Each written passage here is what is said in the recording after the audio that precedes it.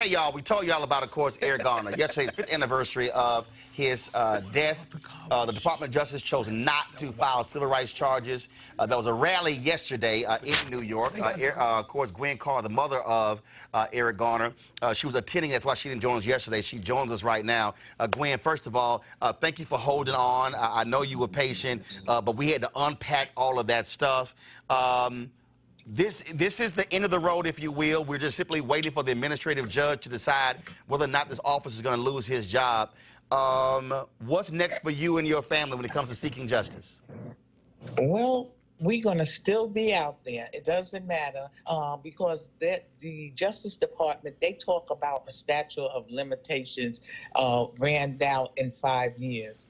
But actually, there is no statute of limitations for death. That's what I, for uh, I'm sorry for murder, and um, and it doesn't end with this administration.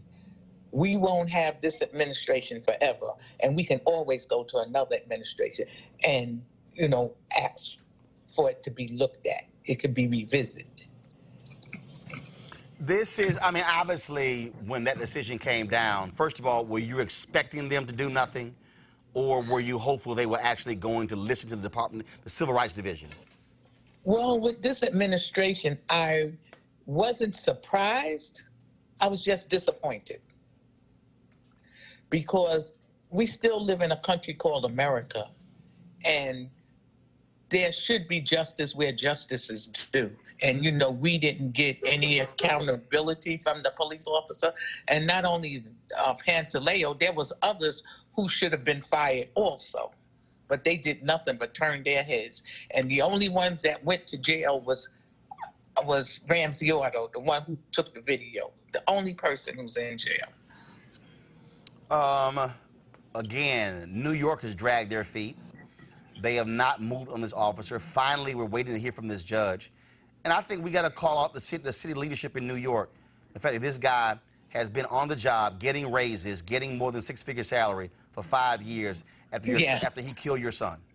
Yes, a raise every year, padding the payroll, padding the pension, because he wasn't even vested when he murdered my son. But now he's vested, he's making overtime. See, they're preparing him so if he does lose his job, he's still set for life. Gwen Carr, it's always good to talk to you. Uh, we're going to keep uh, standing with you and demanding justice. Thank you. Gwen, I appreciate it. Thank you so very much. Oh, you're welcome. Uh,